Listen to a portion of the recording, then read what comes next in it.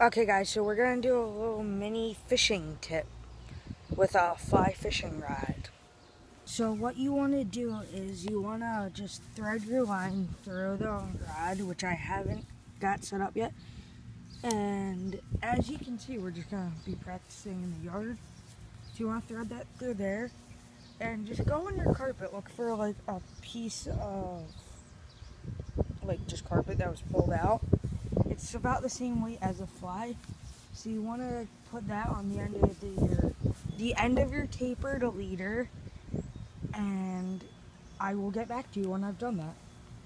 I don't know if I mentioned this, but just tie like a fisherman's knot with kind of like a safety knot on it. And I know I definitely didn't mention this. The rod I'm using is a Shakespeare. It's made by Shakespeare. It's an alpha it is five foot six. And got a bit of wind here.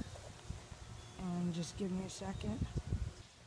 Okay guys, so we're out here and we're gonna test it out.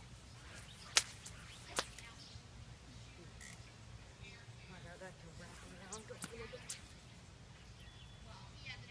it's working, I just not that good.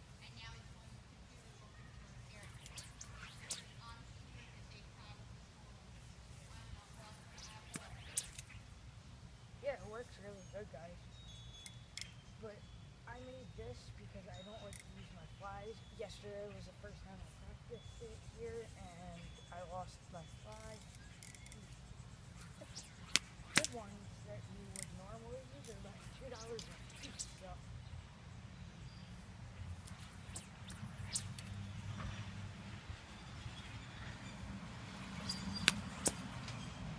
Let's see if I can get a video on actually fly fishing, guys. But until next time, this is the test. Okay, guys, the finished product was just what you would expect from a fly rod. Make sure you like and subscribe. Bye.